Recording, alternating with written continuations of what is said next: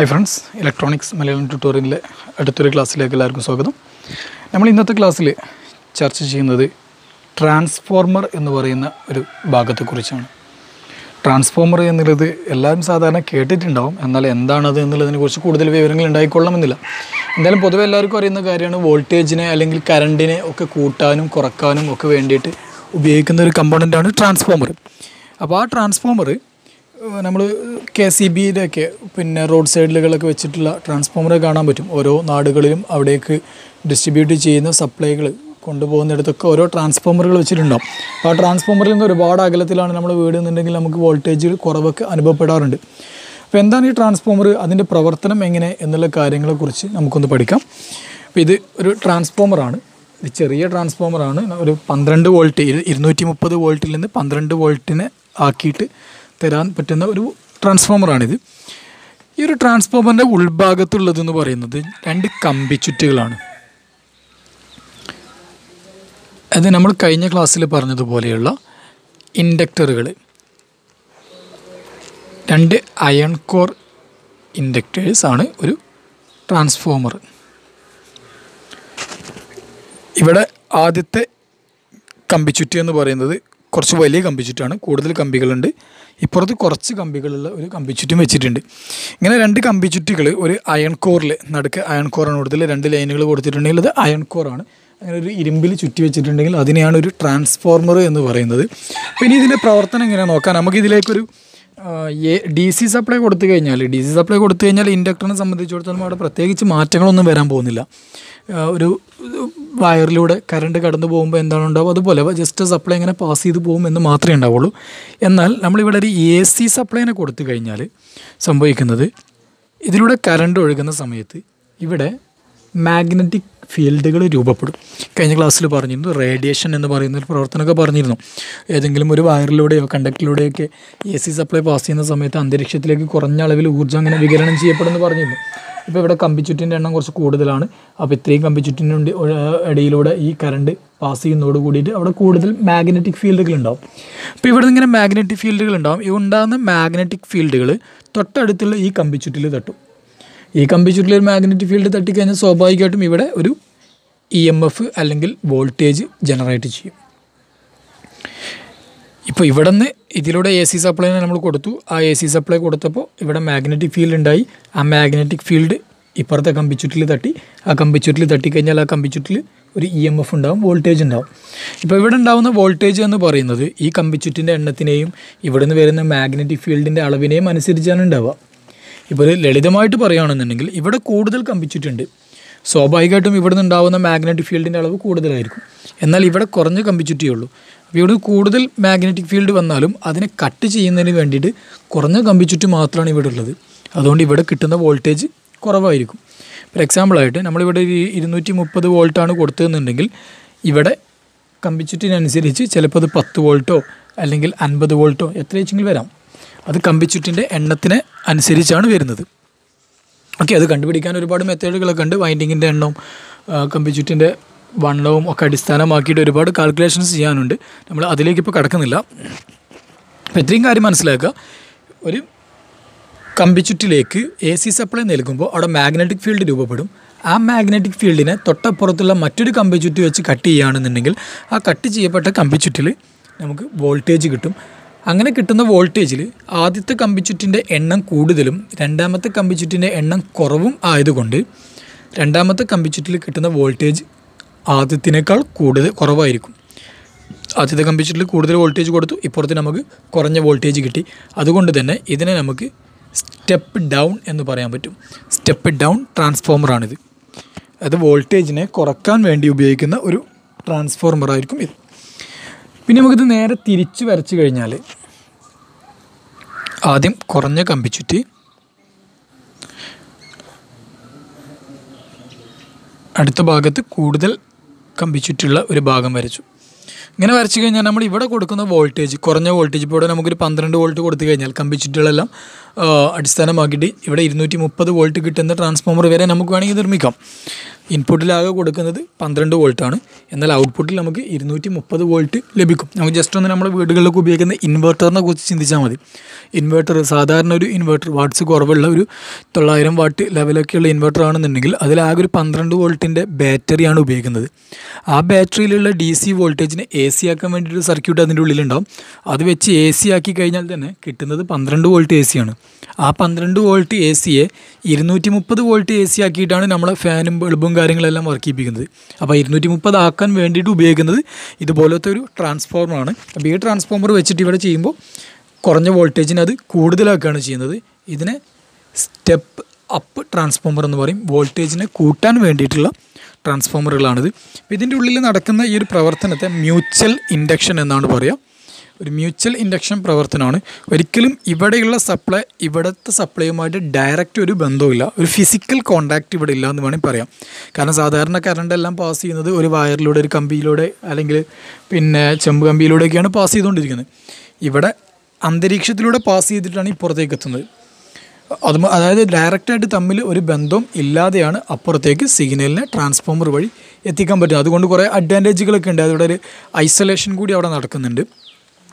Isolation എന്ന് പറഞ്ഞു കഴിഞ്ഞാൽ ഈ ഭാഗത്തുള്ള വോൾട്ടേജും ഈ ഭാഗത്തുള്ള വോൾട്ടേജും തമ്മിൽ ഡയറക്റ്റ് ബന്ധമില്ലാത്തതിനാൽ ഔട്ട്പുട്ട് സൈഡുമായിട്ടുള്ള ഷോക്കിനെ അവോയ്ഡ് ചെയ്യേണ്ട കുറേ കാര്യങ്ങളൊക്കെ ഉണ്ട്. പറഞ്ഞ് കഴിഞ്ഞപ്പോൾ നിങ്ങൾക്ക് കൺഫ്യൂഷൻ ആവും.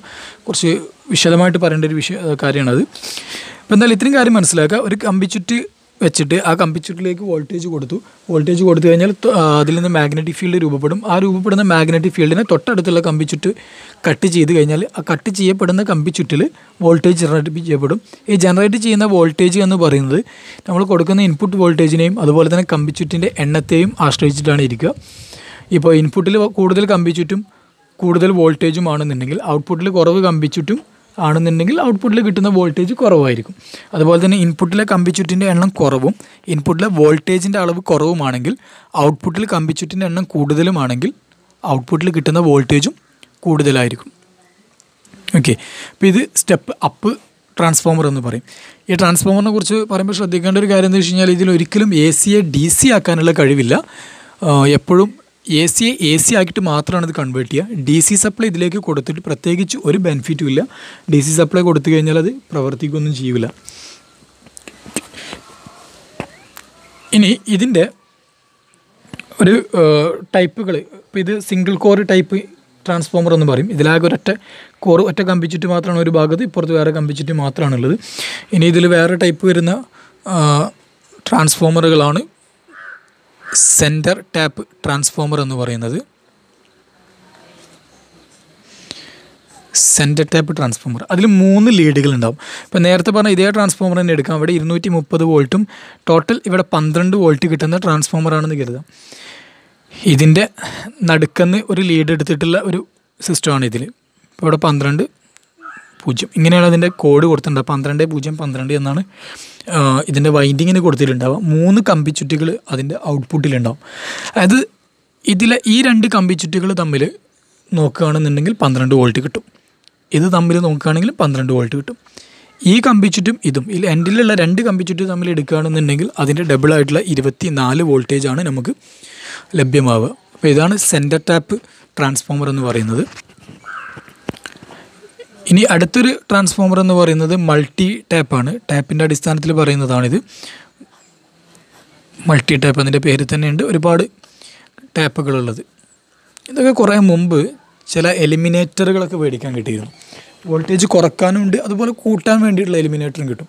കുറക്കാനുള്ള എലിമിനേറ്റർ എന്ന് പറഞ്ഞു കഴിഞ്ഞാൽ നമ്മളതിങ്ങനെ തിരിക്കുന്ന സമയത്ത് അതിൽ നിന്ന് മൂന്ന് വോൾട്ട് അഞ്ച് വോൾട്ട് അതുപോലെ തന്നെ ഏഴ് വോൾട്ട് ഒൻപത് വോൾട്ട് പന്ത്രണ്ട് വോൾട്ട് ഇങ്ങനെ പല വോൾട്ടേജുകൾ നമുക്ക് കിട്ടാനുള്ള ഒരു ചെറിയൊരു സിസ്റ്റം ഉണ്ടായിരുന്നു. അപ്പോൾ ആ സിസ്റ്റത്തിലേക്ക് ഉപയോഗിക്കുന്നത് ഈ ടൈപ്പാണ് അപ്പോൾ ഇതിൽ നോക്കിക്കഴിഞ്ഞാൽ ഇവിടെ കുറേ ടാപ്പുകൾ കണ്ടില്ലേ? ഇതിൽ ഓരോന്നിലും ഓരോ വോൾട്ടേജിലായിട്ട് ഒന്ന് സീറോ പിന്നെ ഒന്ന് വൺ പോയിന്റ് ഫൈവ് പിന്നെ three volt four point five six ഇങ്ങനെ പല വോൾട്ടേജുകളായിരിക്കും ഓരോ വൈൻഡിങ്ങിലും കിട്ടുക. അത് വൈൻഡിങ്ങിനെ അടി അടിസ്ഥാനമാക്കിയിട്ടാണ് വരിക. അതിന് മൾട്ടി ടാപ്പ് ട്രാൻസ്ഫോമർ എന്നാണ് പറയുന്നത്. ഇതിന്റെ തന്നെ സ്റ്റെപ്പ് അപ്പാക്കിയിട്ടും നമുക്ക് ഉപയോഗിക്കാൻ പറ്റും. പഴയ കാലത്തൊക്കെ വീടുകളിൽ ഉപയോഗിച്ചിരുന്ന സ്റ്റെപ്പ് അപ്പ് സിസ്റ്റം നമ്മൾ അതിങ്ങനെ തിരിച്ച് നോബ് തിരിച്ചു കഴിഞ്ഞാൽ വോൾട്ടേജ് മാറ്റം വരും. നമ്മുടെ വീട്ടിൽ വരുന്ന ലൈൻ വോൾട്ടേജിനെ മാറ്റം വരുത്തുന്ന ഒരു സംവിധാനം ഉണ്ടായിരുന്നു. അതും ഇത് തന്നെയാണ്. ഇതിനെ നേരെ തിരിച്ചു വെച്ച് കഴിഞ്ഞാൽ അതായത് ഈ ഭാഗം ഇൻപുട്ടും ഈ ഭാഗം ഔട്ട്പുട്ടാക്കി കഴിഞ്ഞാൽ അത് സ്റ്റെപ്പ് അപ്പായി വൈൻഡിങ്ങിന്റെ കാര്യത്തിൽ ചെറിയ മാറ്റങ്ങൾ വരുത്തേണ്ടി വരും. കാരണം ഇതിൽ ഇൻപുട്ട് വോൾട്ട് അവിടെ വോൾട്ടേജ് വൺ പോയിന്റ് ഫൈവ് ഒക്കെ ഉള്ളൂ. പകരം വൈൻഡിങ് കുറച്ച് കൂട്ടിയിട്ട് കൊടുത്തു കഴിഞ്ഞാൽ അത് സ്റ്റെപ്പ് അപ്പായിട്ട് മാറിക്കോളും.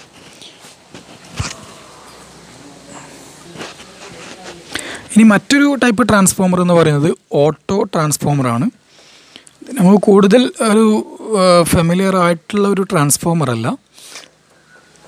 ഇതിന്റെ ഇൻപുട്ട് ഈ ഭാഗമാണ്. ഇത് ഔട്ട്പുട്ടാണ് ഇതൊരു ഇതിന് ഐസൊലേഷൻ കാര്യങ്ങളൊന്നും ഉണ്ടാവില്ല. കാരണം ഇതിന്റെ പ്രൈമറിയും സെക്കൻഡറിയും ഒക്കെ ഒരൊറ്റ കമ്പി ചുറ്റിലാണ് കിടക്കുന്നത്. ഇതിന്റെ ഈ ഭാഗം എന്ന് പറയുന്നത് നോബ് അങ്ങോട്ടും ഇങ്ങോട്ടും നീക്കാൻ പറ്റുന്നതാണ്. നമ്മളെ വേരിയബിൾ റെസിസ്റ്ററൊക്കെ പോലെ അത് അങ്ങോട്ടും ഇങ്ങോട്ടും നീക്കിയിട്ട് നമുക്ക് വാല്യൂ അഡ്ജസ്റ്റ് ചെയ്യാൻ പറ്റും. അത് ശരിക്കും ചെയ്യുന്നത് ലാബ് ലാബുകളിലൊക്കെ വോൾട്ടേജുകളൊക്കെ ഉപയോഗിച്ച് പരീക്ഷണങ്ങളൊക്കെ നടത്തുന്നിടത്ത് പല വോൾട്ടേജുകളും മാറ്റി മാറ്റി ചെക്ക് ചെയ്യുന്നതിന് വേണ്ടിയിട്ടൊക്കെയാണ് ഇതുപോലത്തെ ഓട്ടോ ട്രാൻസ്ഫോമേഴ്സൊക്കെ ഉപയോഗിക്കുന്നത്. നമ്മൾ സാധാരണ ആവശ്യങ്ങൾക്ക് ഉപയോഗിക്കുന്ന ഡിവൈസ് അല്ല. സാധാരണ ആവശ്യങ്ങൾക്ക് ഉപയോഗിക്കുന്നത് സ്റ്റെപ്പ് ഡൗൺ അതുപോലെ സ്റ്റെപ്പ് അപ്പ് ഇതിൽ എല്ലാത്തിലും സ്റ്റെപ്പ് ഡൗണിലാണെങ്കിലും സ്റ്റെപ്പ് അപ്പിലാണെങ്കിലും ഒക്കെ വരുന്ന കാറ്റഗറീസ് തന്നെയാണ് ഈ സിംഗിൾ ടാപ്പും അതുപോലെ തന്നെ സെൻട്രൽ ടാപ്പ് പിന്നെ മൾട്ടി ടാപ്പ് ടൈപ്പ് ട്രാൻസ്ഫോമറുകൾ. ഇനി ഇതിന്റെ കോറിനെ അടിസ്ഥാനമാക്കിയിട്ട് മാറ്റങ്ങൾ ഉണ്ടാവും. അപ്പോൾ ഇതൊരു സാധാരണ കാണുന്ന ഒരു ട്രാൻസ്ഫോമറാണ്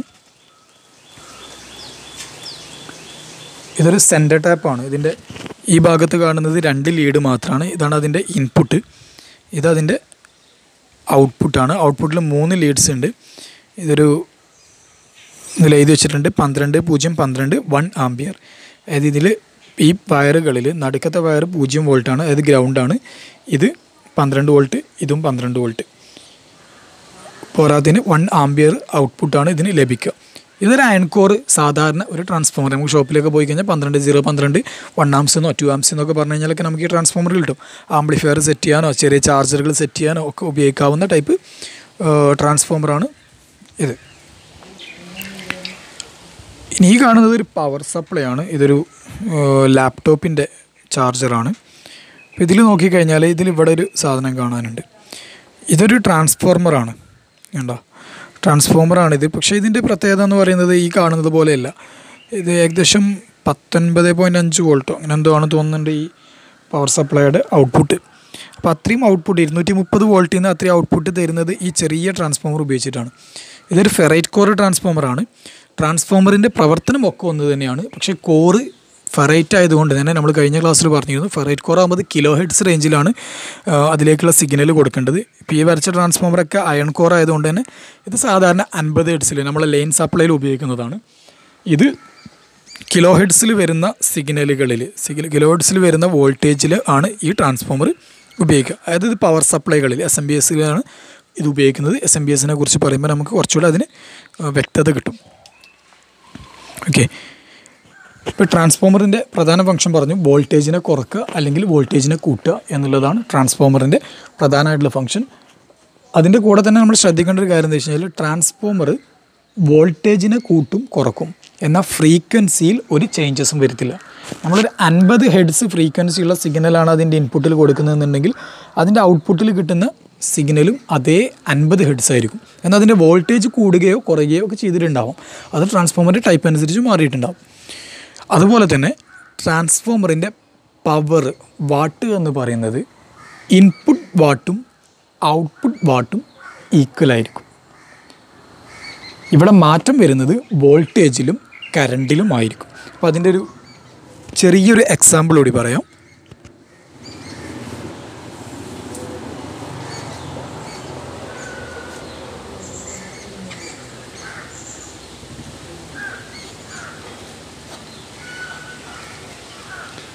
ഈ ഒരു ട്രാൻസ്ഫോമർ ഇവിടെ നൂറ് വോൾട്ടിനെ പത്ത് വോൾട്ടാക്കുന്ന ട്രാൻസ്ഫോമറാണെന്ന് കരുതുക. നൂറ് വോൾട്ടാണ് അതിന്റെ ഇൻപുട്ട് ഔട്ട്പുട്ട് പത്ത് വോൾട്ട് സ്റ്റെപ്പ് ഡൗൺ ട്രാൻസ്ഫോമറാണ്.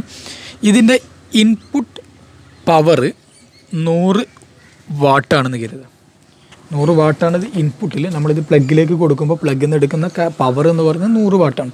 സ്വാഭാവികമായിട്ടും ഇതിന്റെ ഔട്ട്പുട്ടിലെ പവറും നൂറ് വാട്ടായിരിക്കും കാരണം നേരത്തെ പറഞ്ഞു ട്രാൻസ്ഫോമറിൽ പവറിലോ ഫ്രീക്വൻസിയിലോ ഒരു ചേഞ്ചസും വരത്തില്ല വോൾട്ടേജിലും കറണ്ടിലൊക്കെയാണ് അതിന്റെ ചേഞ്ചസുകൾ വരുത്തുക. ഇപ്പോൾ ഇവിടെ നൂറ് വാട്ടും നൂറ് വോൾട്ടും ആയതുകൊണ്ട് തന്നെ സാധാരണ നമുക്ക് അറിയാവുന്ന കാര്യം തന്നെയാണ്. കര പവർ എന്ന് പറയുന്നത് ഐ ഇന്റു വി ആണ്. അപ്പോൾ അതിൽ നിന്ന് നമുക്ക് തിരിച്ചെഴുതി കഴിഞ്ഞാൽ നമുക്ക് ഇവിടെ കിട്ടും വാട്ട് ഇവിടുത്തെ ഐ കറണ്ട് എന്ന് പറയുന്നത് വൺ ആംബിയർ ആണെന്ന്. അല്ലേ? നൂറ് ബൈ നൂറ് ചെയ്ത് കഴിഞ്ഞാൽ നമുക്ക് കിട്ടുന്നത് വൺ ആംസ് ആയിരിക്കും.